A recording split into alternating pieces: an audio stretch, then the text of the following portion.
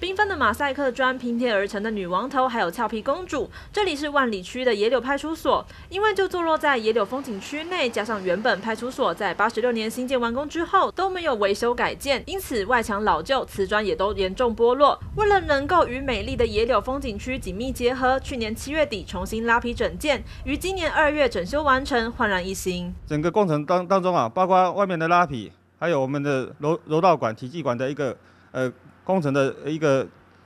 呃施工，那厕所的话，本本身的话也相当的人性化，也针对我们的财障朋友的话做一个一个施工哈。那希望啊，透过这这一次的一个啊工程的一个完工，哦，整个外貌的一个改观，对也也有地区的一个呃观光能够有所一个呃进步。据了解，这次派出所的重新整建市府观光局斥资三百万，在外观上加入了当地最著名的观光元素——女王头与俏皮公主，让派出所不只是派出所，也是野柳的一处观光景点。少了刻板印象中官衙的严肃感，新的野柳派出所展现亲民、警民一家的一面。推展观光，让人家有印象啊！